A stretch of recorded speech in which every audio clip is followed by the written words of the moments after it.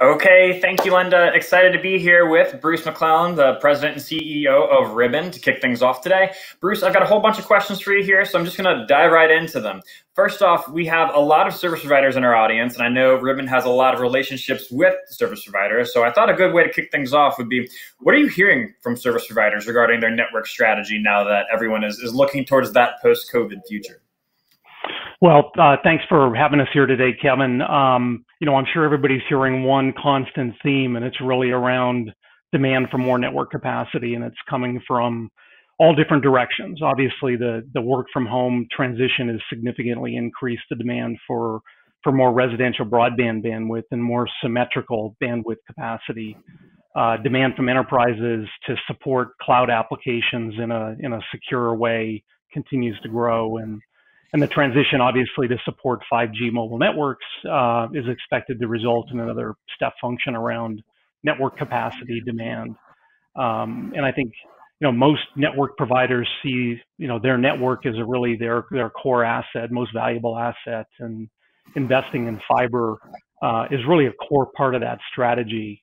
And in many cases, I think uh, a desire to own their own fiber resources wherever practical. Um, in addition to providing more capacity, we're seeing a very conscious effort to design fiber networks in a in a way that supports all different types of service uh, requirements as opposed to individual different types of networks for different types of services. Uh, and of course, with the incremental investment that's required around this, there's a, a real desire to find uh, additional revenue generation services. Uh, so that puts a whole new set of requirements on all different layers of the network and and able to support uh, more automation and more or, uh, more orchestration is a real you know key enabler for these things. So yeah, so there's a lot of things going on uh, certainly within the network uh, in the coming years here. Great. So I think as you kind of mentioned there, obviously high capacity broadband is incredibly important. Um, but uh, my question for you here is, is, is it enough? What will it take beyond high capacity broadband connectivity to meet the needs of 5G and uh, and all its related new services? Well, yeah. So, you know, 5G obviously is about uh, radio densification, you know, getting more bits per hertz, uh, reducing the size of, of cell sizes, uh, more high frequency spectrum, more spectrum reuse, all these things. And so that drives the need for more fiber densification. And uh, I think access to fiber infrastructure is, is a real enabler for 5G. So I think it's a lot more than just the radio portion of the network. Um, you know, you start with providing uh, last mile fiber access pipes. I think that's the essential, you know, first step for for connecting these networks. But the focus is also on rebuilding the backhaul and aggregation portions of the network and the the metro IP optical portion as well to meet these new requirements. So it really drives, you know, a set of requirements and changes throughout the network, um, particularly around the ability to support more advanced services, things like private networking which require a, a, different level of performance level guarantees around things like latency and service availability and security. And so I think that's going to drive a need for a more capable and more flexible network architecture, uh, supporting things like network slicing to really be able to differentiate between the types of services that you're you're supporting on the network. The traditional approach around providing quality of service and best effort architectures using a, an oversubscription model or content, you know, uh, contention ratio analysis really doesn't cut it anymore. You know, a really uh, a more sophisticated approach to the network architecture is really going to be needed. And I think more optimization across multiple layers in the network uh, are really going to drive changes. Okay, so I think I heard you say like uh, more sophistication is obviously going to be needed in the network, uh, and things are going to be, be more flexible. But could you just dive a little bit deeper into what these new architectures are going to look like? Well, I, I think they start with uh, that multi-service approach. So the ability to onboard different types of traffic, uh, both from legacy services as well as new services are, are required. You'd be amazed at how many TDM interfaces are still uh, in service around the world today. So I think you know the first step is modernizing portions of those networks and then you know supporting this multi-service capability. The next focus we're hearing from customers is really around open networking, more open network interfaces, particularly at the optical transport layer, which has been a very closed proprietary portion of the network for, for many, many years. I, I think you're going to see a blurring between the optical layer and the IP layer. Uh, the integration of, of high-speed coherent optics directly into switching and routing platforms using next generation pluggable optics is really gaining momentum. And then ultimately, that's going to drive the need to be able to plan and engineer and ultimately optimize traffic flows across the network. Again, at multiple layers, not just optimizing at an optical layer or an IP layer, but really, you know, providing uh, auto automation and orchestration across all those different layers. And so it's going to look much more like a software-defined backbone network, um, you know, that's able to really distinguish between different types of services and intelligently orchestrate and you know really autonomously select the right type of technology and the right uh, transport options for different types of traffic. Right. So it's no surprise you're hearing a lot about open networking from your customers. That's one of the biggest uh, trends that we see uh, over at Fierce in terms of site traffic and, and everything over the past year as well, of course. Um, so if we could expand on that topic of open networks just for a second here, there's obviously a lot of industry discussion regarding disaggregation, uh, things like Open RAN, Open ROADM. Um, how is this being accomplished in practice? Well, yeah, as you say, open networking uh, has been a buzz for years, and it's it's easy to say and hard to do. Um, you know, generally they've all had a similar set of goals, moving away from proprietary closed systems to more interoperable multi-vendor environments.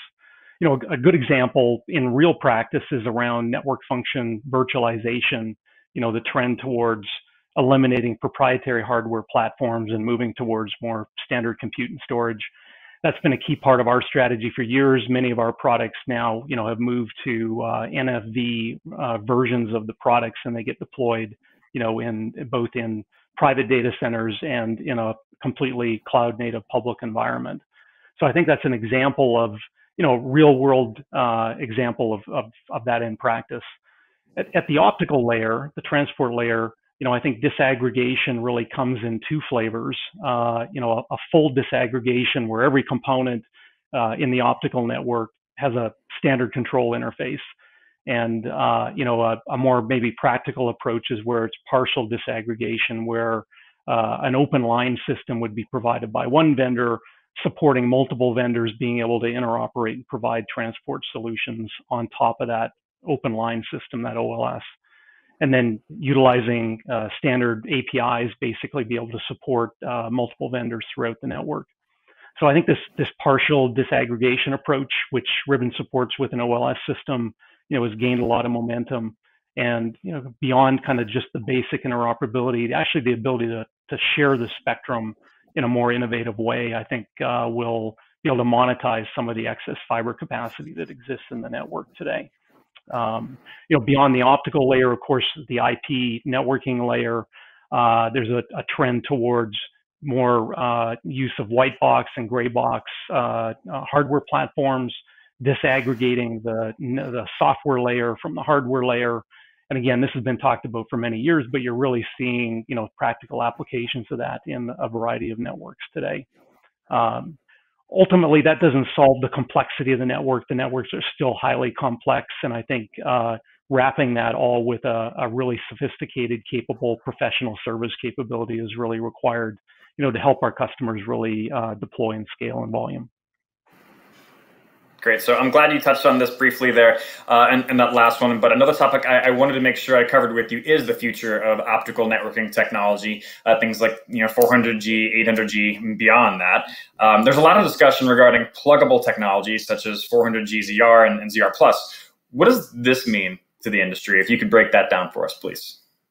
Yeah, there's a lot going on uh, in the technology evolution, and you know most of the headlines typically are around uh, speed, 600 gig, 800 gig, 1.2 terabit, et cetera, and that seems to, to capture most of the headlines. But you know, really, what's important is very cost-effective transport of 100 gig uh, client speeds, evolving to support 400 gig client speeds and that's over you know short distance for data center interconnect as well as for long haul transport applications.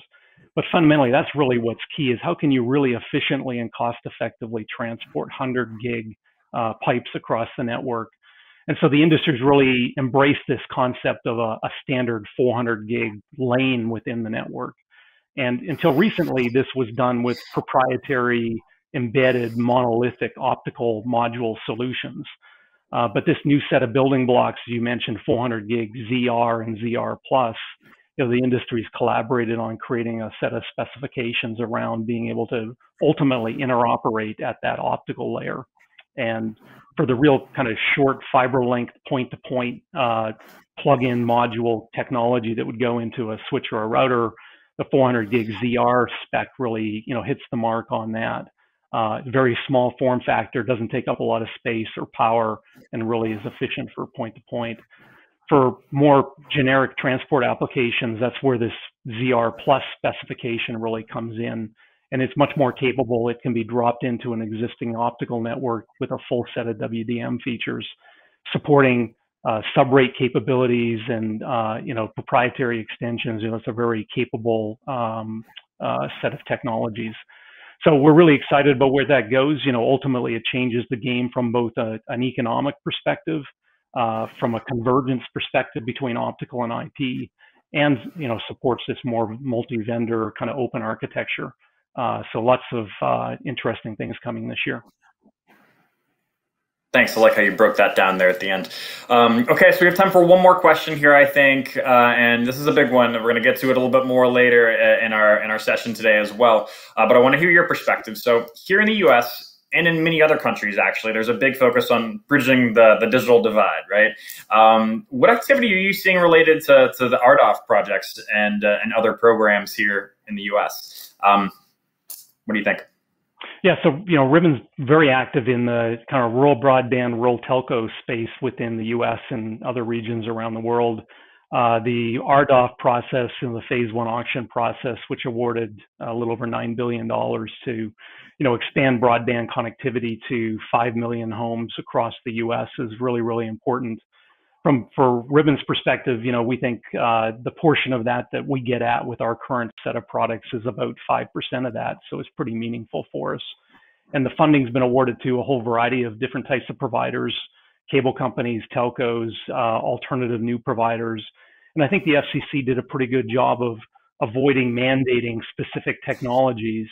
Uh, and yet, you know, I think an extensive fiber infrastructure is really going to be required for the for the practical majority of these deployments. So fiber becomes really, really important.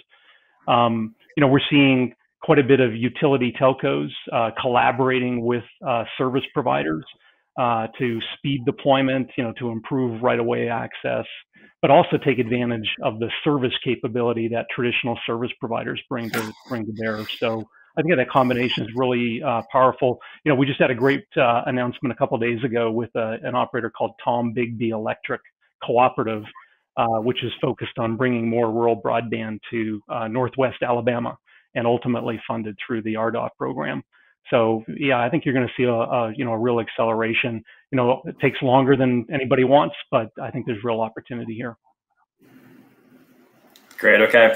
Thank you, Bruce. That is unfortunately all the time we have for today. So next up, I'm going to go ahead and pass things back to Linda, who's going to introduce our next speaker.